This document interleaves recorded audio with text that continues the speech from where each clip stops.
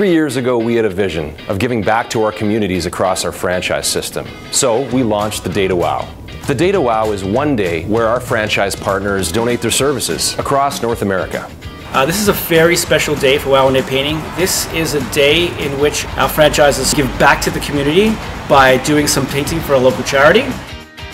There are franchise partners today all across North America giving back to charities on the same day, at the same time, for a charity, together as a unified front. What a difference a day makes. Giving back to our communities does not have to be complicated. What's your Day to WOW?